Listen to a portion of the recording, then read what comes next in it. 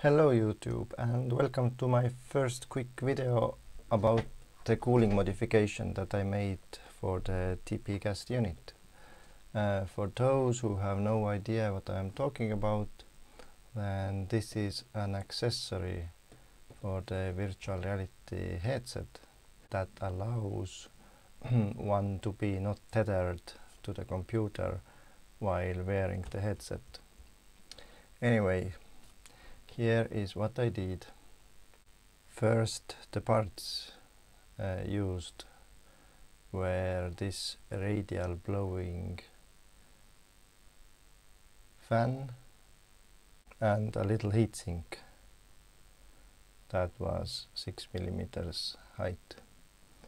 Uh, as it happened, the fan was a dead fit to the bottom side of the unit as you can see here. Uh, meaning its width was like 0.1 millimeter match to the body.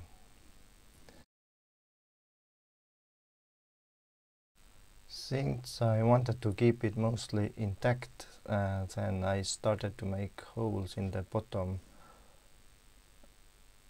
for airflow between the stronger structural lines in the case mold.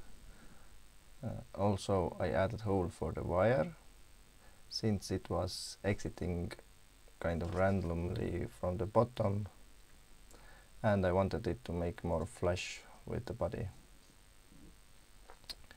Here you can see me test fitting and checking how the wire runs.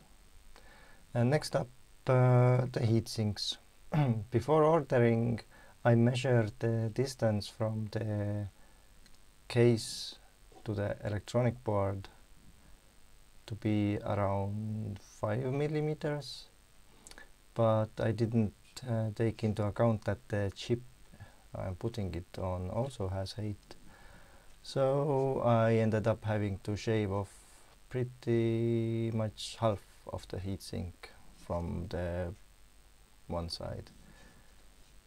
You can do it either by filing or sanding or spinning an electrical industrial kind of sanding at your own risk. This is actually an angle grinder.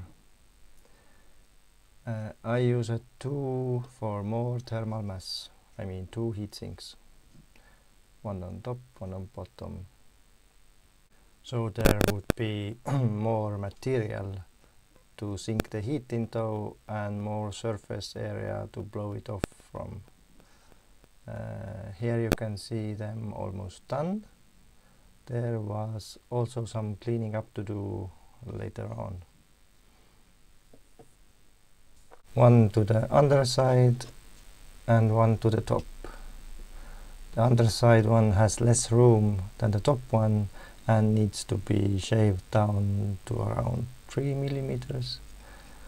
Uh, the wire runs from the fan to the USB header. I also added 10 ohm resistor to slow down the fan a bit mm, for less noise. We mainly need just some forced air movement for the effect, uh, for the cooling effect. The top row here is negative and the bottom row is positive connections. Nothing too complicated there. Uh, I try to avoid running wires over the antenna bands for less possible interference.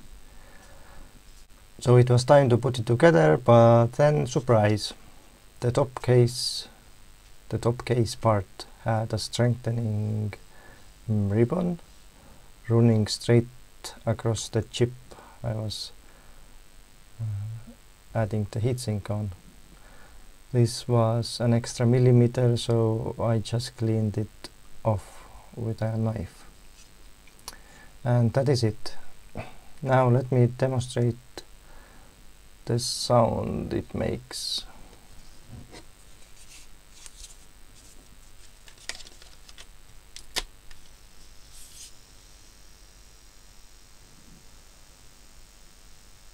You can hear it on the table but hardly when it's on your waist belt.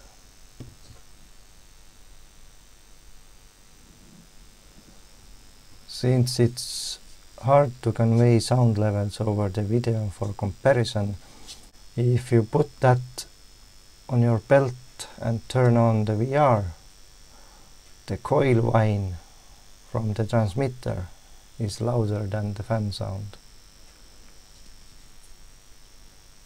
And if you have headphones on and there is any sound or music in the experience you are using the headset for, you will hear nothing from the fan.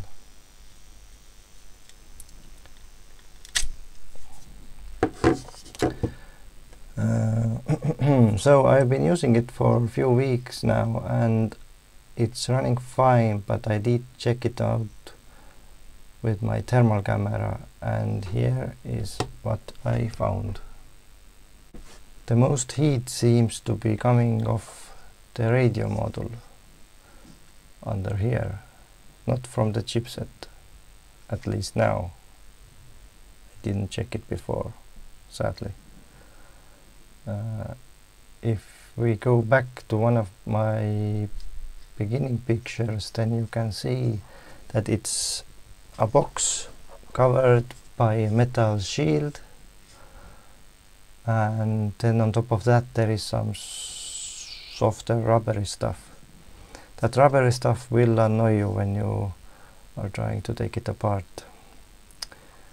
So I should check that rubbery stuff out. Maybe it's not the type that transmit heat well and should be replaced.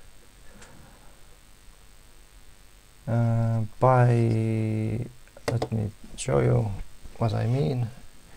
Here is what I am thinking about. It's some thermal silicon pad that should transfer heat well. Uh, need to think about that a bit. Also the receiving unit gets really hot too, maybe should take a look what's going on inside that thing too. anyway, leave your thoughts, questions and comments down below. Hope this helps someone and thank you for your attention.